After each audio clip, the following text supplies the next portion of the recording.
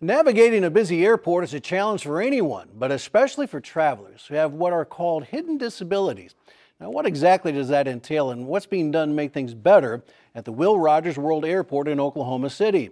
Steve Shaw joins us now to tell us. Steve. Rich, back in March, Will Rogers World Airport implemented what's known worldwide as the Hidden Disabilities Sunflower Program, which launched at an airport in London, England, eight years ago. Good morning. Good morning. How are things? Russell Butler is 77 years old.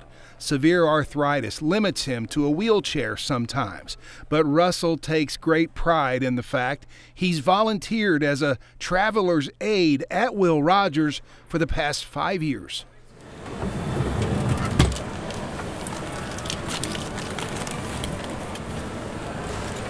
Now, when he reports for work, he picks up one of these green and gold sunflower lanyards and wears it around his neck.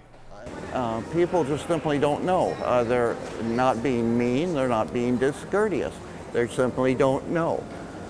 Uh, and it makes much easier if, if I, uh, without having to tap everybody on the shoulder and say, uh, how do I get this, or what I, here's what I need, it, they can see that I'm needing assistance. If you have a hidden disability, you can walk up um, as you come into Will Rogers World Airport.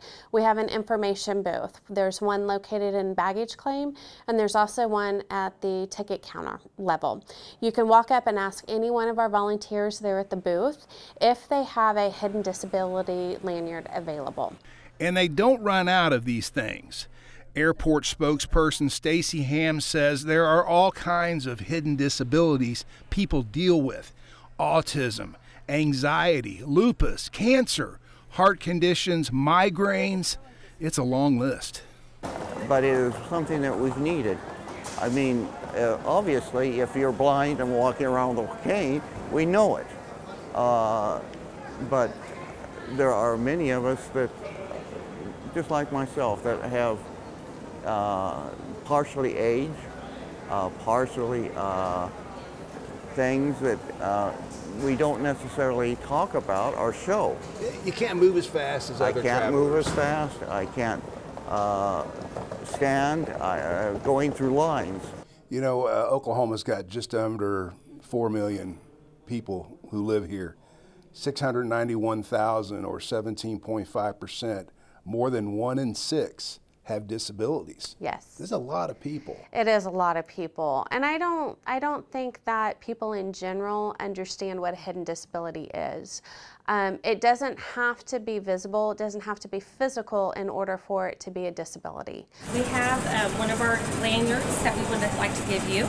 It just helps um, airport staff recognize that, hey, there might be something, and it just kind of, again, puts them, I don't want to say puts them on guard, but they're aware. Um, they know that, you know, there might be something that you may need, need some help with. Brandon Crump is a 43 year old married father of three who lives with epileptic seizures that can be triggered by heat and flashing lights. Um, I mean, it's caused barriers in my life, and I mean, that's kind of what the program is uh, helping to do is like limit those barriers for people with disabilities. So. Sorry. I get my drink right now. 24 year old Danielle Robinson has a developmental disability, but don't tell her that. Hi, Trent. Danielle just got a promotion at Not Your Average Joe coffee shop in Midtown, Oklahoma City, where she's been the resident social butterfly and cashier for more than five years. Not Your Average Joe is known for employing folks with special challenges. Where have you flown to besides California? Um, I've been to Disney World. And Danielle's all good with the green and gold lanyard thing at Will Rogers. I agree on that. We need one. You agree on it? It's Yes. a good idea. Good idea. Lisa Kelly is CEO of the state chapter of the ARC of the United States. The Oklahoma chapter is based in Tulsa. They protect the rights of people with intellectual and developmental disabilities. a lot of times um, you know, people don't want to self-disclose and share their disability because that is just one piece of them and it doesn't define them.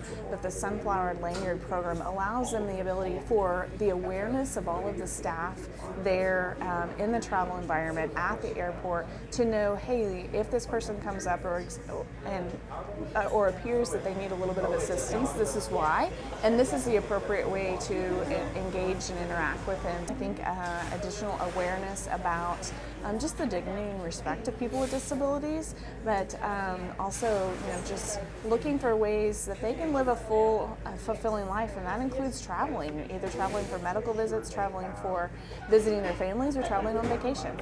Jody Harlan is Communications Director for the Oklahoma Department of Rehabilitation Services. They serve 96,000 Oklahomans each year.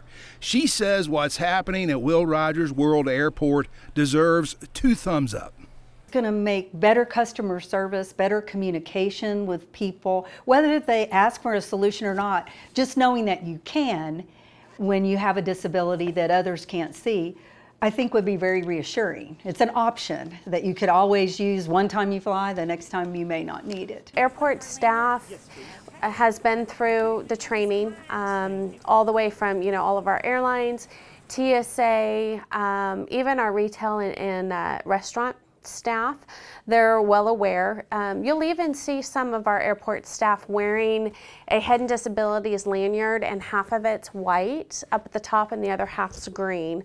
That um, is basically to let you know that, hey, ask me about our hidden disabilities program. By the way, July is National Disability Pride Month. July 26th is the 34th anniversary of the passage of the Americans for Disabilities Act. Rich? That's a great program. Thank you, Steve.